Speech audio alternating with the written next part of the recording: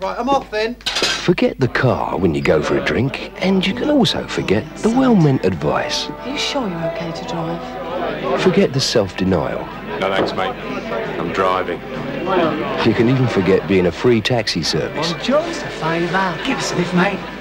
But most important, you can forget this. So if you really want to enjoy a drink, remember, when you fancy a jar, forget the car.